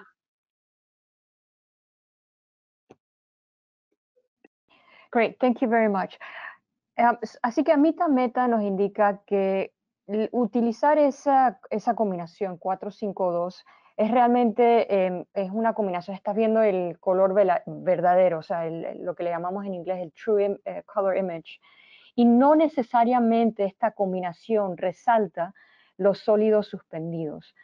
Eh, eh va tal vez demostrar un cambio en el, color del agua, pero el infrarrojo cercano es, más sensible a los sólidos suspendidos. Y hay varias combinaciones de bandas utilizadas para observar los sólidos en, suspensión. Y la única manera de realmente averiguar qué bandas son más precisas es tener mediciones in situ para derivar primero una relación entre los sedimentos y la reflectancia de la banda y también para validar lo que están viendo. La pregunta número 10. ¿Para Sudamérica hay alguna plataforma que permita la descarga de mapas de cobertura terrestre?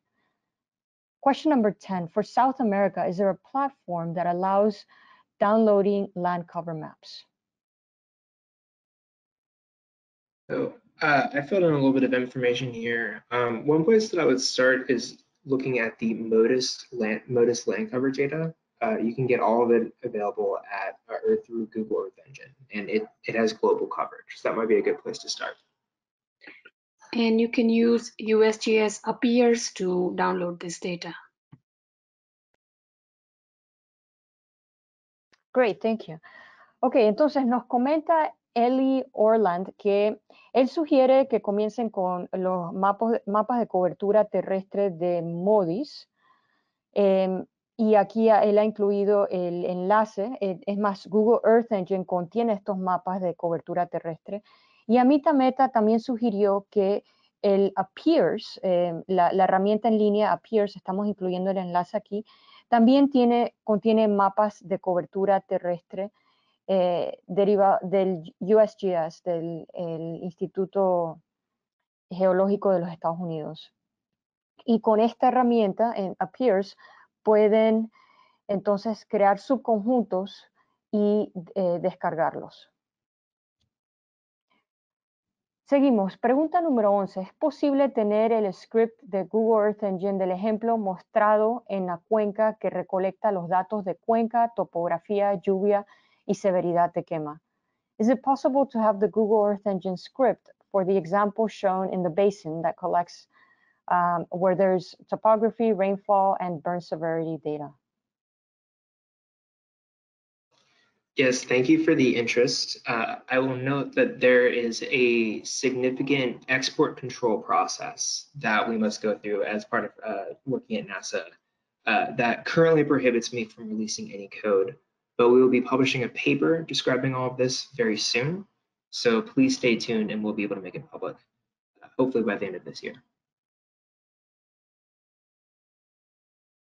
Ok, nos indica Eli que el, em, el código todavía no lo pueden eh, hacer público por, porque tienen que eh, tener ciertos permisos antes de, hacerlo público, pero que esto está, eh, están publicando, están creando o haciendo una publicación y esto será a finales de este año, esta publicación. Así que tan pronto eh, la publicación esté en línea, eh, se la haremos eh, disponible a aquellos que estén interesados. So question number 12, la siguiente pregunta número 12. ¿Qué bandas se utilizan para la imagen NDVR? Question 12, what bands are used for the uh, NDBR image, or I think it's DMBR? Yes, it varies based on the data product. Uh, Landsat 7 will be uh, bands 4 and 7, and then Landsat 8 will be bands 5 and 7. Then for Sentinel, I forget the exact bands, but it changes for those as well.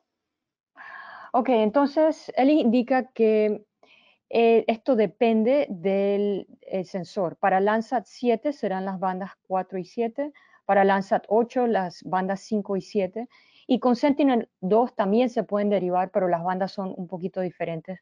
No las tiene, em, eh, no las sabe en estos momentos, pero esto es algo que pondremos dentro de este documento.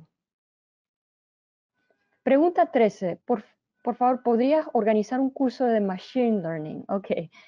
Uh, question number 13, it's more of a statement. Could you please organize a machine learning course? Any comments?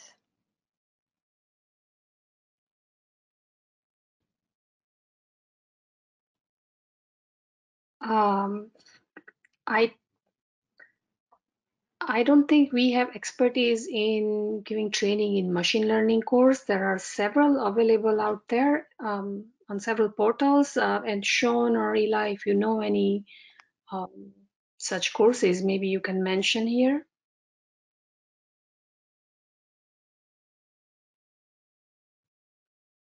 For now, we're not planning, but we can keep this in mind that um, there is an interest in machine learning course.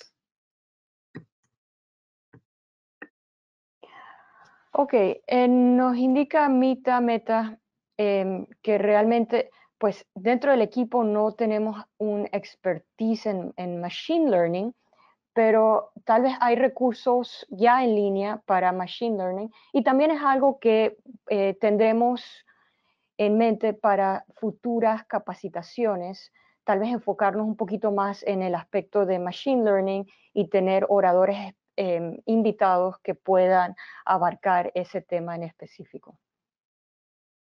Pregunta 14. ¿El algoritmo de Machine Learning se solicita a Eli Orland? So uh, question number 14, the machine learning algorithm, we, request that uh, from Eli Orland?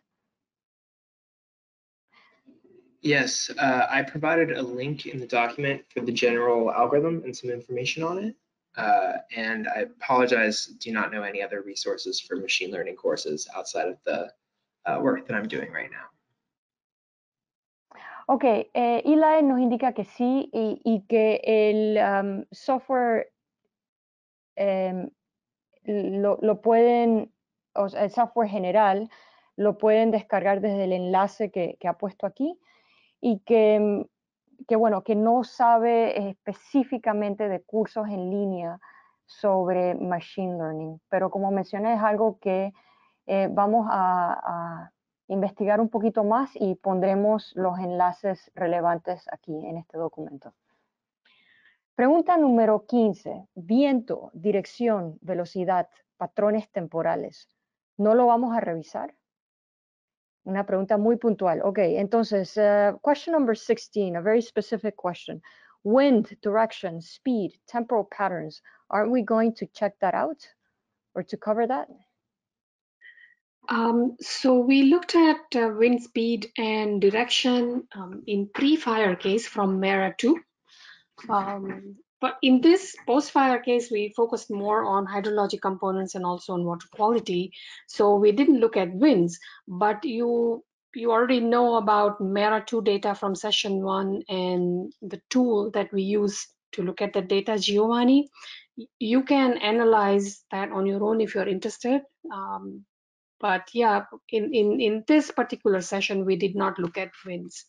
Uh, we could have perhaps just um, after the fire or around fire uh, how winds changed, but uh, we just focused on the hydrology part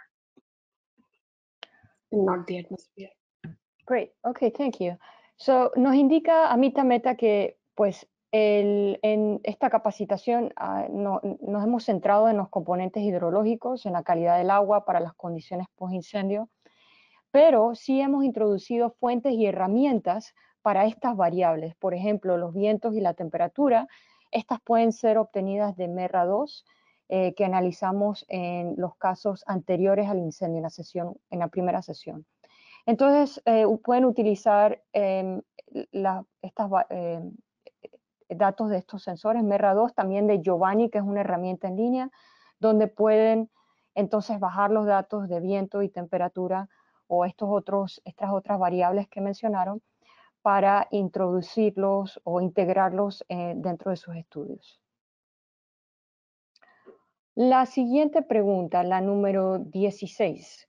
¿Cuál es el correo que mencionaron? Me interesa porque estoy escribiendo un artículo de Machine Learning para estos casos y necesito el asesoramiento. Por favor y muchas gracias. Question number 16, what is the email mentioned? I'm interested because I'm writing a machine learning article for these cases and I need the advice. Please and thank you very much. Yes, my uh, this is Eli. My email is listed on the document, so feel free to get in touch. Uh -huh. Así que Eli respondió que el, el, su email eh, lo ha puesto aquí en la respuesta y eh, que lo contacten para cualquier pregunta relacionada a Machine Learning. Seguimos. Pregunta número 17. ¿Cómo afecta al modelo conceptual la diferencia de la resolución espacial, dado que la escala del iMerge es de 11 kilómetros y Landsat de 30 metros? ¿Qué clase de estudios o herramientas se deberían utilizar para un análisis de mayor resolución espacial? Question number 17. How does the difference in spatial resolution affect the conceptual model, given that iMerge is at 11 kilometer spatial resolution and Landsat is at 30 meters? What kind of studies or tools should be used for higher spatial resolution analysis? It's a very fair question. Uh, I might be biased, but one of the reasons why, why we use iMerge is that it is one of the best global rainfall products available. Uh, that said, you are exactly right that it is uh, a fairly coarse resolution. So if you have a very small area that you're interested in, I highly recommend you utilize any local rain gauge data or local ground-based radar data you can get your hands on. If you can't do that, then either regional precipitation information would be great, and as a last resort, you can rely on iMerge. Yes, so there are also um, downscaling efforts going on um, where I merge data at 10 or 11 kilometers is used and then either use terrain or land cover um, uh, from Landsat and SRTM to downscale uh, this data at, at higher resolution. That's an involved process, but that has been done at research level. Um, but you're right, uh, this is this is an issue. But if you think about it, uh, there is always compromise between there is trade-off between temporal and spatial resolutions. So Landsat, while has high resolution, it is every 16 days, and if it's cloudy uh, atmosphere, you can't see much from Landsat. Uh, iMerge is every half hour data, so depends on the application, but uh, if you are interested in high resolution rainfall, like Eli said, uh, local measurements uh, through rain gauge or radar are always very useful. Or you can downscale satellite precipitation by using some method. Even in situ data can be used to, to downscale uh, precipitation data. Ok, thank you. Entonces, nos indica Eli eh, que utilizamos iMerge porque es uno de los mejores productos de precipitación a nivel global disponibles. Eh, pero eh, la resolución espacial es limitada. Sí, eso sí es, e, cierto. Em, entonces recomendamos, o él recomienda el uso de datos de precipitación locales o de radar terrestre si el área de interés es, eh, es muy pequeña.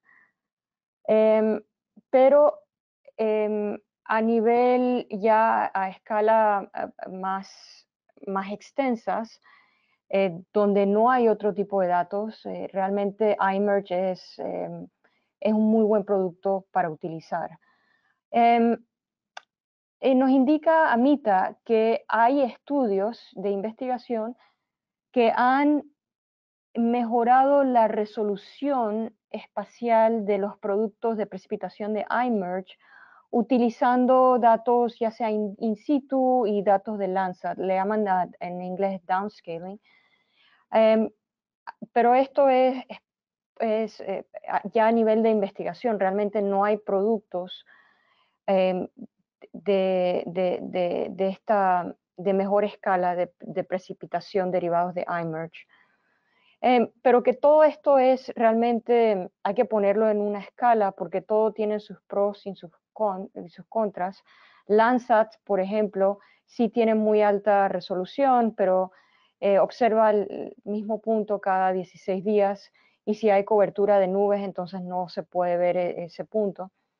Eh, iMerge em, está haciendo mediciones o estimaciones cada 16 eh, horas o, cada, par de horas, así que siempre hay como una, ah, eh, una, una, compensación o hay, un, hay, hay, hay que poner, poner todos estos aspectos en una escala.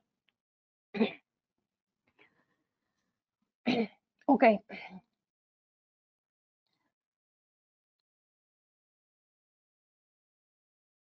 Ok, entonces seguimos a la próxima pregunta. Em, la número 18. Disculpe, me, voy un poquito. ¿Dónde se puede correr el modelo de Machine Learning? ¿En qué website o plataforma? question number 18. Where can Machine Learning model uh, be run? Or what website or platform? I have provided a link to the general algorithm uh, in the document, and you'll find that it runs in a variety of languages, including Python, which I believe most of us are hopefully familiar with.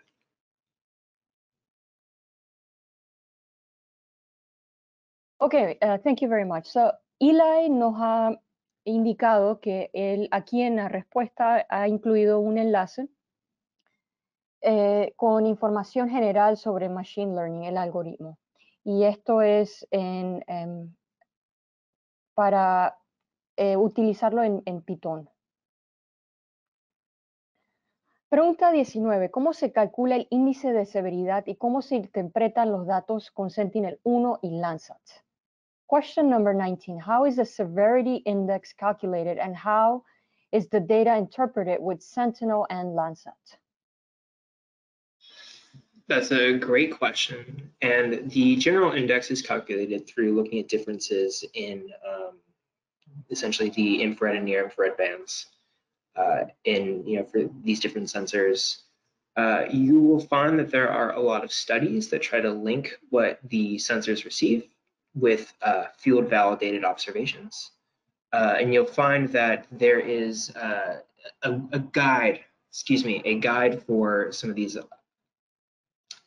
sorry, Erica, uh, you'll, you'll find that there is a uh, general best practice guide that I've linked in the document, which can give you a little bit more information.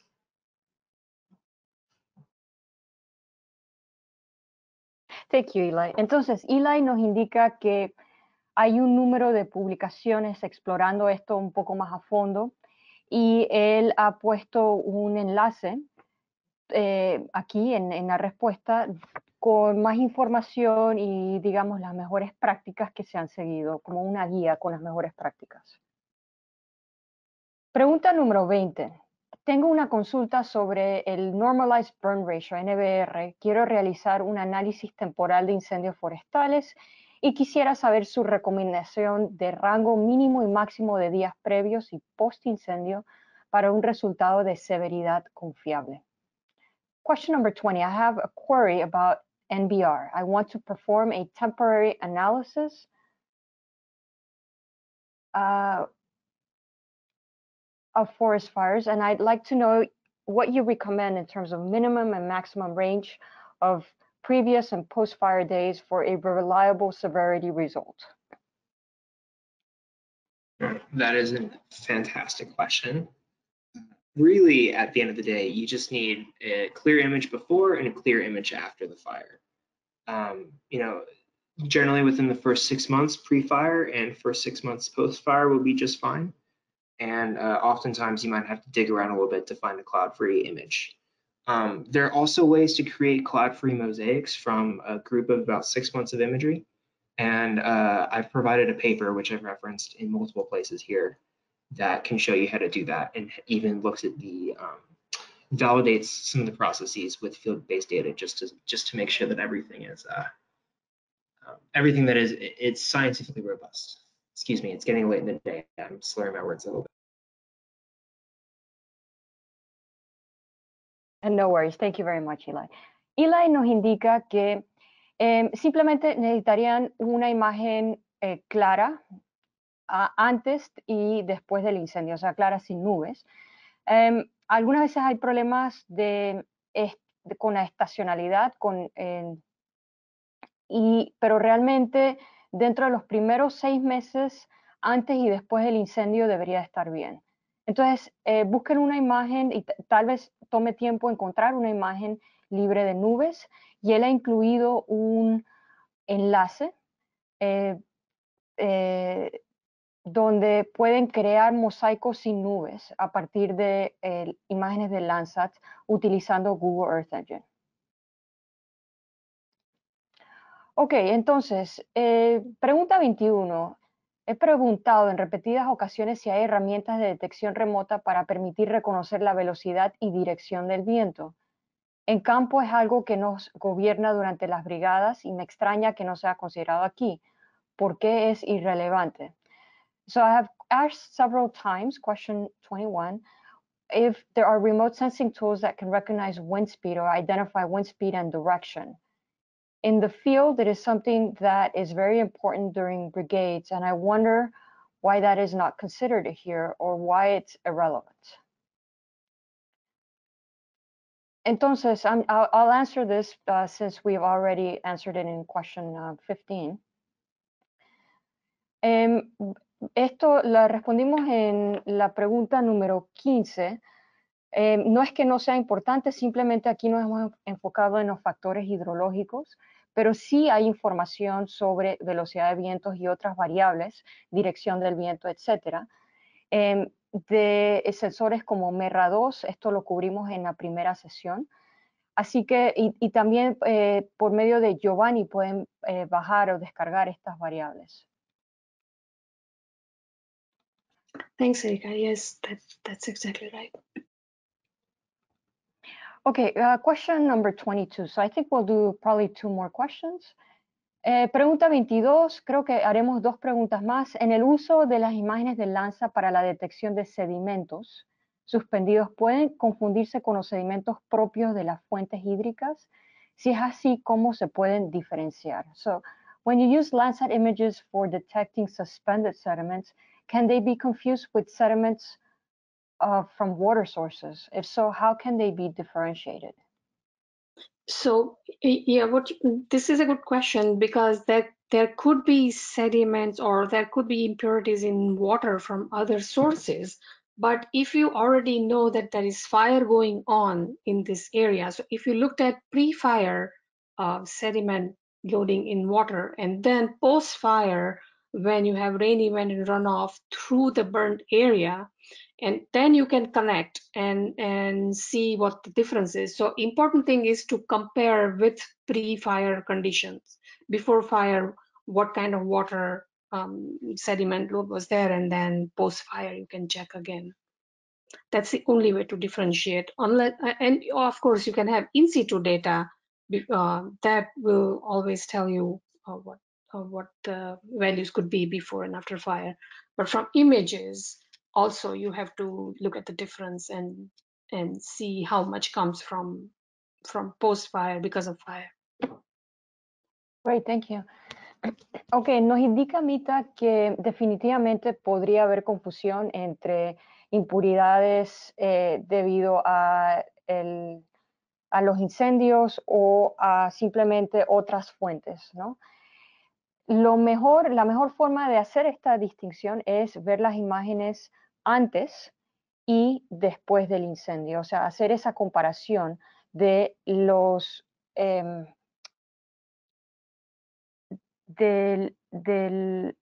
los sedimentos suspendidos en el agua antes del incendio y después, para entonces así poder em, eh, eh, tener más em, más certeza de que la fuente era del incendio.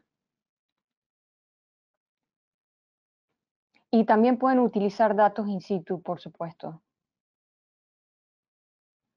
Pregunta 23. ¿Realizan labores de restauración post-incendio? ¿Tienen medida la eficacia? So, question 23, do you carry out post-fire restoration work? Are there any sort of like effectiveness um, measures that can be used? Great. Yeah, I'll take this one.